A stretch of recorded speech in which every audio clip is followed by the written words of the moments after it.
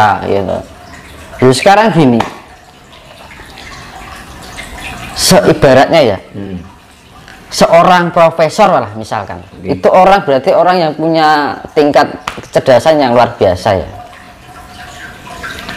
Ketika dia menghadapi yang namanya yaitu ancaman ketika menghadapi itu kecerdasannya langsung terhenti. Langsung down mas. langsung down. Kenapa gitu? Nah ininya kok nggak dipakai gitu kan? seorang profesor ketika dia dia bisa melakukan dengan peng, apa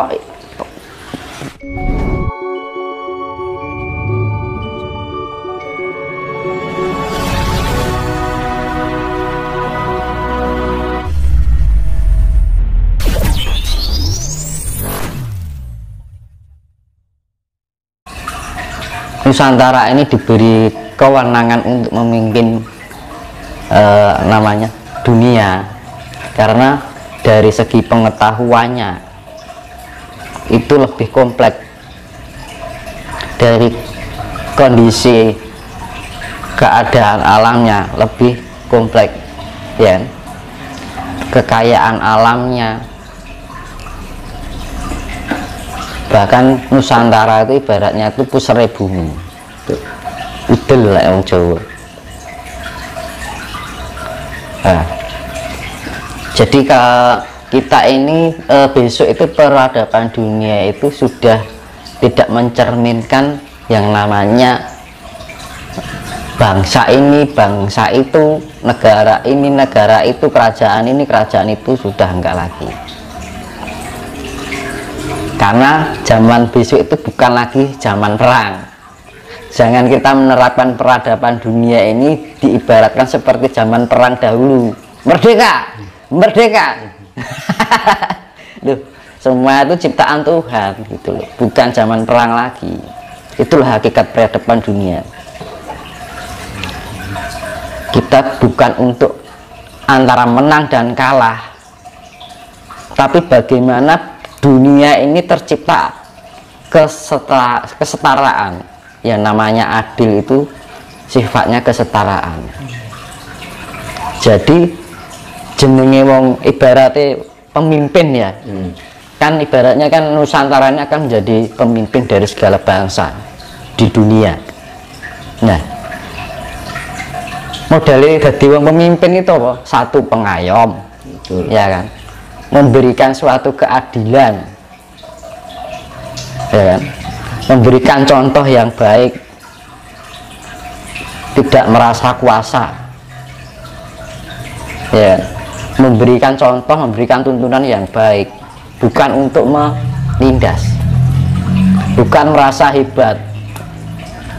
Tidak merasa diri hebat. Ya kan justru kita diberikan kepercayaan itu yang perlu kita lakukan bahwa kita justru mempunyai tanggung jawab yang sangat besar Apakah eh, salah satu upaya atau syarat atau langkah-langkah agar Nusantara ini terwujud menjadi merwujud keluar dunia itu eh, termasuk bangkitnya ajaran Budi, Mas? Nah itu das jadi yang yang saya tadi bilang eh merju- apa tadi? Budi pekerti ya.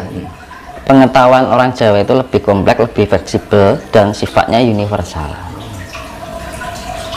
Itu orang Jawa itu pengetahuannya lebih saya gini orang Jawa mengajarkan tentang toto kromo ya kan? Dari segi bahasa aja bahasa kromo halus kromo inggil kromo basa Jawa kawi macam-macam itu dari segi bahasa. Dari cara memanggil orang tua dengan anak muda beda. Mas pak ya kan? Mbak ya kan? Iya. om kan ibarat kita ke lebih tua manggilnya mas. Manggil anu di di luar negeri kan nggak ada. Itu dari cara memanggil itu sudah tahu bagaimana cara mengha- menghargai dan menghormati seseorang. Nah istilahnya cara basa niki tepo saliro. Kita lebih bisa memahami orang lain dan menghar- menghargai orang lain dan menghormati orang lain. Walaupun itu anak kecil dipanggil dik nah wong Jawa kan ngono wong luar negeri kan celuk jenenge ya itu Eh, dari segi bahasa. iya. Terus eh, secara Jawa itu sebenarnya leluhurnya masih ada lagi. Maksudnya mas? Masih ada lagi gimana? Jadi Jawa ini sis, eh, leluhurnya itu ada yang lebih hebat lagi daripada Jawa itu sendiri. Leluhur Jawa? Ah. masih ada yang lebih hebat lagi? Dari orang Jawa. Yang sekarang. Iya, iya. Kuwi Jawa saya enak sing ngungkuli mas. Nah itu. Dan ini sisa-sisa Jawa itu. Sisa-sisa dari Lemuria Nah Nusantara ini sisa-sisa dari Lemuria yang apa peninggalan Lemuria yang tersisa. Gitu. Terus gini Mas Dinus Eh, Mas Dinus kan eh, selaku spiritualis muda Hmm. apa yang bisa Mas Dinus sampaikan pada kita kita ini kan kaum milenial? Mm-mm. agar bisa eh, intinya mendukung support supaya apa yang dicita-citakan bangsa ini tercapai. Misalkan satu contoh Indonesia menjadi mercusuar dunia. Terus bagaimana ajaran Mempersiapkan. Jawa itu? Eh, bagaimana Mas apa pesan Mas Mas Dinus buat eh, kaum yang sekarang ini Hmm. Jadi kita belajar dari leluhur kita juga ya. Leluhur itu juga penting dari adat istiadatnya budaya dan digabungkan dengan pengetahuan-pengetahuan yang sekarang yang sifatnya ilmiah. Syukur-syukur bisa mempelajari tentang sains. Gitu. Jadi Eh, dasar utama kita latih meditasi dulu. Ya kan? Itu eh, dasar awal ya. Sering-sering melek bengi mandi malam meditasi. Itu nanti terarah dengan sendirinya dulu. Nah makanya itu apa tuh fungsi meditasi? Agar kita terbangunkan potensial energi di dalam diri kita meningkat akhirnya kita bisa juga meningkatkan tingkat kesadaran diri kita sendiri nah kalau kita sudah ada peningkatan tingkat kesadaran diri kita tidak termu- tidak mudah terbelenggu oleh ilusi. Karena ilusi itu kita bisa mengetahui ilusi ketika kita mempunyai tingkat kes- kesadaran cipta.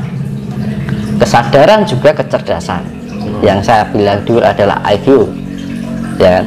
terus kesadaran rasa juga kesadar ke, kecerdasan rasa yaitu SQ nah, akhirnya kesadaran EQ emosional iya. dan kecerdasan emosional. Jadi antara kesadaran dan kecerdasan kalau orang sudah bisa memakai tentang kesadaran dan kecerdasan EQ, SQ, dan IQ orang tidak akan mudah dibodohi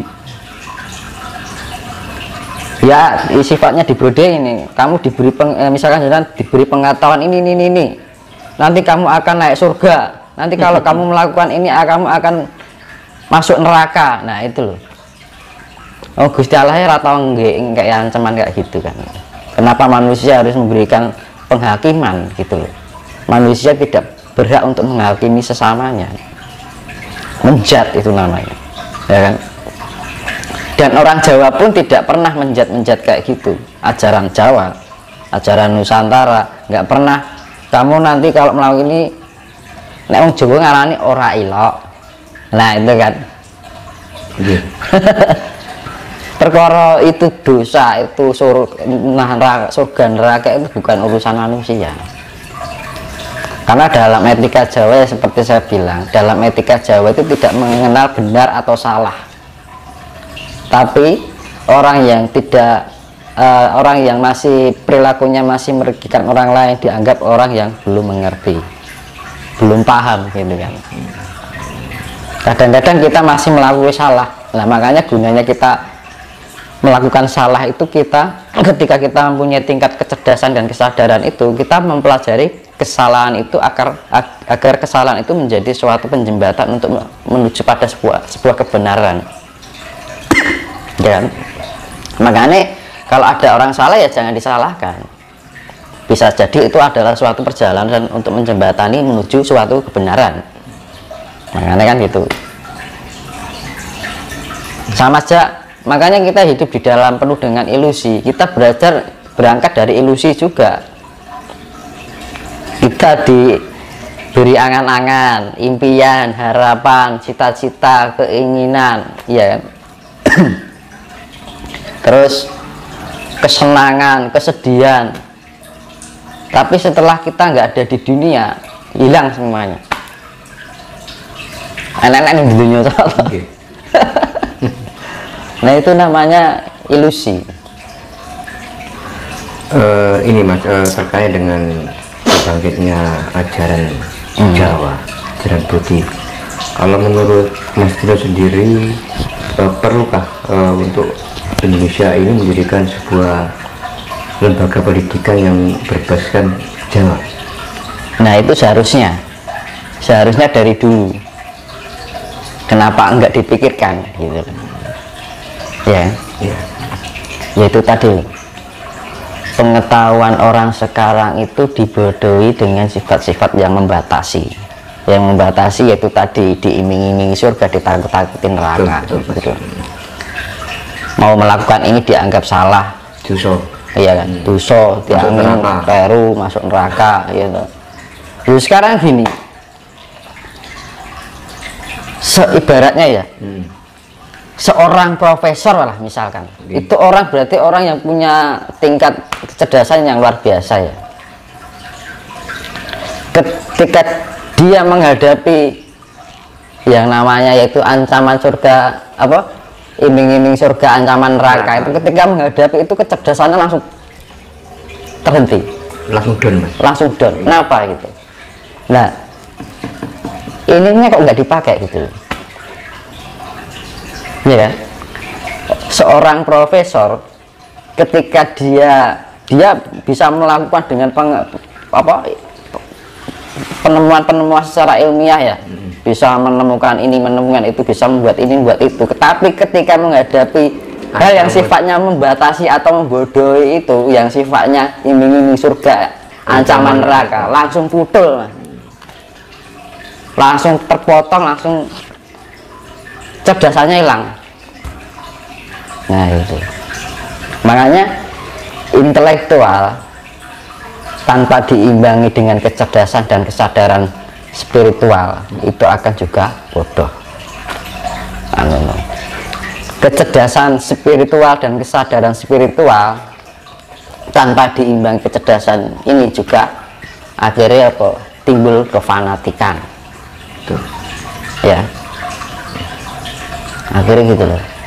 Rumoso bener rumoso apik rumoso suci liane salah justru orang Jawa itu tidak pernah ajaran Jawa itu menyalahkan orang lain dan menganggap diri merasa benar. Orang Jawa itu diajari lembah mana lembah mana rendah hati ya.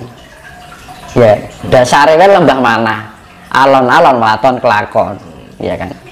Pelan-pelan asal tersampaikan. Sekarang apa? Ambisi yang berjalan. Alon-alon remo rentok apa-apa nah itu budaya dari mana? Jawa dari itu Jawa ini wis hilang ya. Seperti kasus kemarin mas e, orang Jawa dikatakan salah satu ustadz atau ulama bahwa orang Jawa itu menyembah pohon.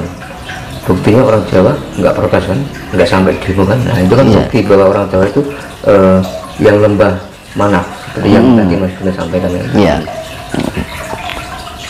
Ya karena orang Jawa itu nggak bawel. Kadang-kadang mengerti tapi diam. Ya orang Jawa itu lebih, lebih baik diam daripada harus kita uh, ramai gitu loh. Mengedepankan ego toh. Nalar diabaikan. Akhirnya apa? Akal sehat nggak berjalan. Dan akhirnya